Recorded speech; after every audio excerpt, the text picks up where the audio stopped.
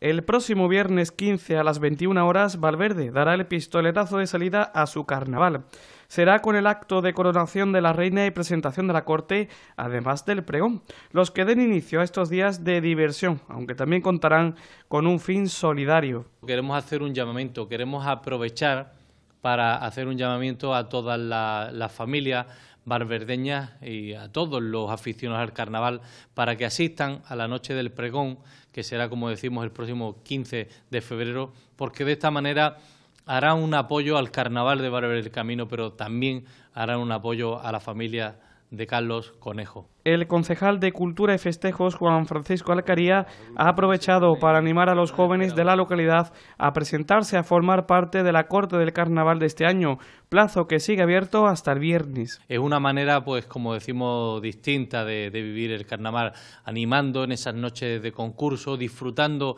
en el desfile, ya sea infantil como, como adultos, y sobre todo, pues, es una manera de vivir internamente y de lleno el carnaval de Valor del Camino, que como decimos, pues es una de las raíces de nuestra localidad. Asimismo, grupos de Huelva, Punta Umbría y Valverde ya tienen asegurada su presencia en uno de los certámenes carnavaleros más importantes de la provincia. Sigue abierto el plazo para inscribirse en el concurso de agrupaciones hasta el jueves 14.